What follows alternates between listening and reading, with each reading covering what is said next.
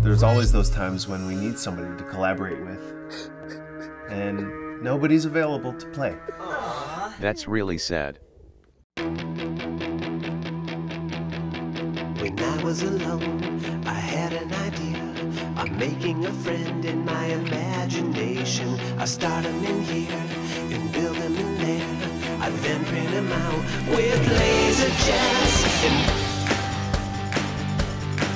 When the physical presence of a friend is impossible, technology kicks in to form a new kind of friendship, the digital kind. Thank you.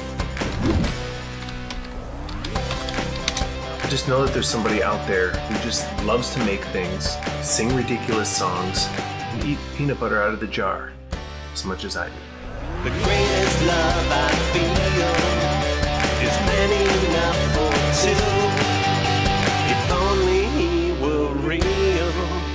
I wouldn't be so alone.